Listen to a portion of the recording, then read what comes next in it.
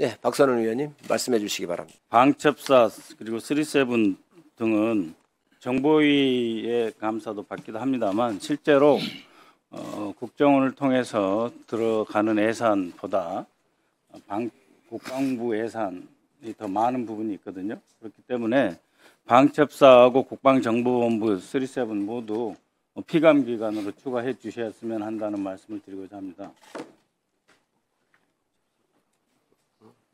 그래서 이제 일부 예산이 국정원을 통해서 들어오는 건 맞지만 어, 더 많은 예산은 사실 국방부 예산이거든요.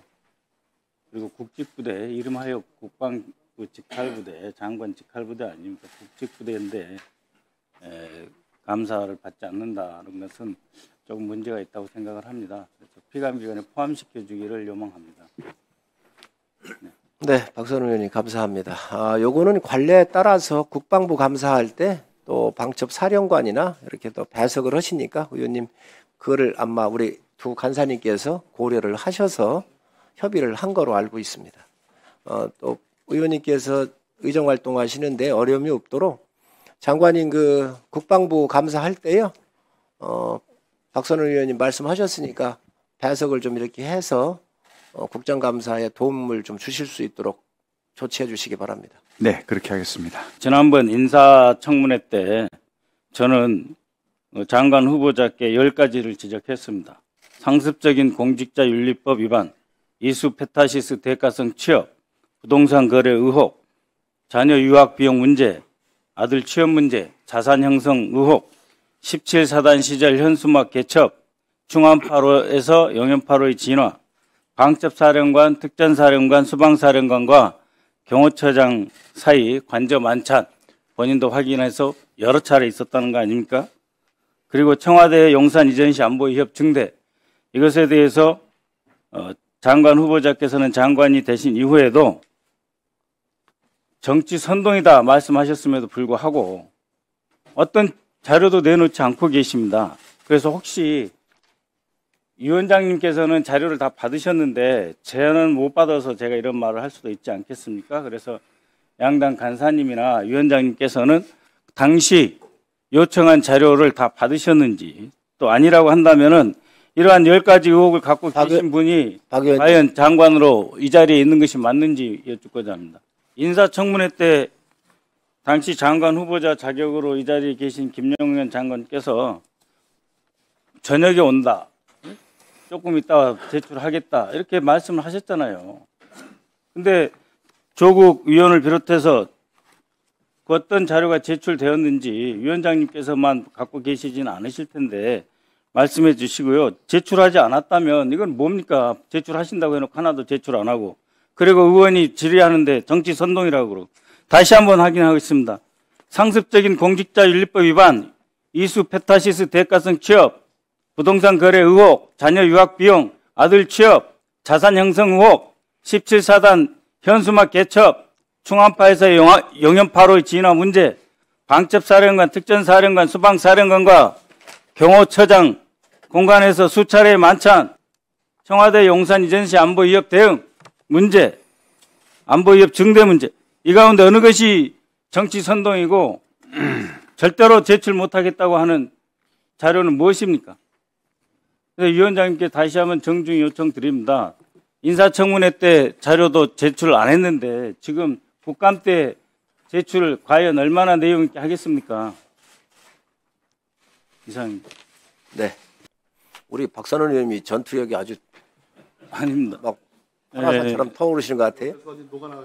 존경하는 위원장님 그리고 존경하는 선배 위원 여러분 또 존경하는 우리 국방부 장관님 비롯해서 공직자 여러분, 오늘은 1964년 9월 25일 백마부대로 시작된 월남전 파병 기념일입니다. 전국에서 월남전 참전 용사들이 노구를 이끌고 지금 국립 현충원에서 이제 행사를 가지시려고 합니다. 근데 저에게 요청하시더라고요. 보훈처 보훈부에서 2,500만 원 행사비 가지고 이 60년 60주년 행사에 무대 설치비도 안 된다 한 하소연을 하시는데요. 월남전 참전 전후회 회장 및 회원들을 어, 증인 내진 참고인으로 꼭 좀 포함시켜 주십사 하는 요청을 드립니다. 또 한 가지는 지금 강화도 송해면이라고 하는 데가 있습니다. 그것은 북쪽에서 우리 강화도 송해면을 향해서 지금 귀신 소리하고 새, 새 파이프로 이 아스팔트 긁는 소리, 손톱으로 칠판 긁는 소리를 섞어가지고 계속 방송을 해대고 있습니다. 1.8km밖에 떨어지지 않아서 우리 주민들이 너무도 고통스럽습니다. 그에 반해서 우리가 쏘는 거는 그쪽에 산이 있어가지고 막혀서 저쪽 주민들이 들리지도 않고 우리가 갖고 있는 그 확성기의 가천거리는 7km인데 북한 주민은 7.5km 이북에 있습니다. 그러니까 우리 주민들이 일방적으로 지금 피해를 보는 상태인데 국방부에 이 문제에 대한 해결을 요청을 했더니 전혀 남남 갈등을 부추길 수 있으므로 해결하지 않겠다라는 답이 왔습니다. 국방부 정책기획관실에서 왔는데요. 그래서 강화도 송해면 주민들을 참고인으로 부를 수 있도록 해 주십시오. 매일 고통받고 있는데 그분들 연세도 많습니다.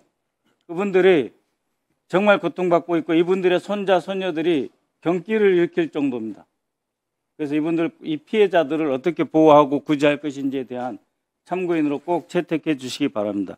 강화도 송해면 주민 참고인으로 꼭 요청드립니다. 네, 박선 의원님 말씀하셨는데 우리 두 간사님께서 협의를 해주시기 바랍니다. 예. 위원장님 자꾸 여쭤서 죄송합니다. 국군 복지단 이 그 우리 증인 피감기관으로 포함되어 있는지 확인하고자 합니다. 그 이유는 이렇습니다. 올해 8월 19일부터 8월 29일까지 을지 Freedom Shield 연습 기간이었습니다. 그런데 8월 24일 성남 한성대, 8월 31일 서울 태릉 골프장, 9월 7일 남수원 골프장에서 대통령께서 골프를 치셨다.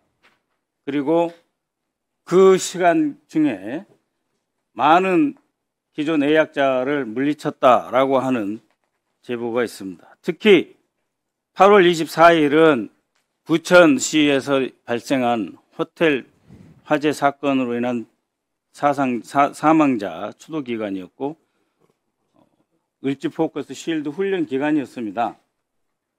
그래서 국군 복지단을 불러주시고요. 그 다음에 의원님, 꼭- 그 들어가 있습니다. 첫날 나옵니다. 예, 단장이 나옵니다. 꼭 하나 확인해야 될 것은 현재 국방장관이 8월 12일에 내정돼 가지고 9월 6일 장관으로 임명됐는데 그 기간 동안 거소가 어디였습니까? 경호처장 관저였습니까? 장관 공관이었습니까? 아니면 그 기간 중에 일시적으로 사저로 나와 계셨습니까?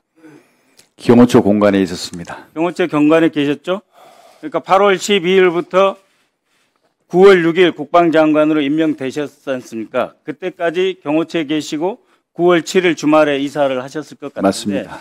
박 의원님, 결국 아니, 그 기간 박- 중에 박 의원님, 경호처에 잠깐만요, 잠깐만요. 박 의원님, 요게 지금 기관 증인과 관련되니까 마무리를 좀 하시고, 예, 공간에 계셨기 때문에 8월 24일 성남 한성대, 8월 31일 서울 태릉 골프장, 9월 7일 이사하신 바로 그 다음날, 9월 7일 남수원 골프장, 네, 대통령께서 가셨는데 아니, 의 이게 맞 한영현 처장이 장관 되시기 직전에 가셨는지 안 가셨는지 그 일지를 달라는 겁니다. 예, 알겠습니다. 저도 월남전 참전 군인 보상 특별 법안을 제출을 했었습니다. 근데 이번 심사 소위에서 이제 채택을 하지 않았습니다.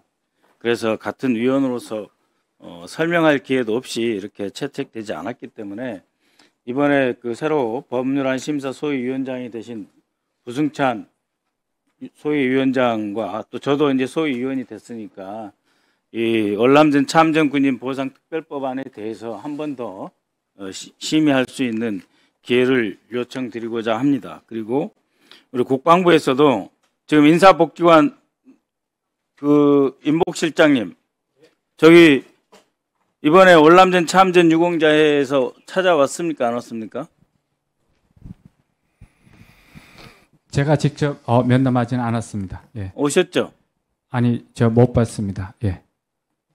60주년이 됐고 이분들이 76세에서 80세 어르신들인데 매우 어렵습니다. 그러니까 장관님과 인사복지 임복 실장님께서는 좀 챙겨봐 주세요. 이거를 보훈부에 그냥 맡길 일이 아니라고 생각합니다. 그렇기 때문에 존경하는 이, 이 대목에서 존경하는 말을 꼭 쓰고 싶은데 존경하는 장관님, 존경하는 인사복지실장님, 이거 60주년이 됐으니 이 월남전 참전 유공자회 간부들 어, 우리 국방부를 모시든지 모셔서 좋은 자리도 베풀어 주시고 다시 한번 그분들의 유공에 대해서 좀 기려 주시기 바랍니다. 다시 한번 그리고 존경하는 위원장님께 요청드립니다. 이 법안 다시 우리 소위에서 심사할 수 있는 기회를 꼭 갖고자 합니다. 예, 박선 의원님 수고하셨습니다. 선 의원님 또 이렇게 좋은 법안 내셨으니까 의원 저 의원님들께서 어, 상의를 좀 하셔서 또 다른 법안하고 충돌하는지 여러 가지를 좀 고려해서 좀 살펴봐 주시기 바랍니다.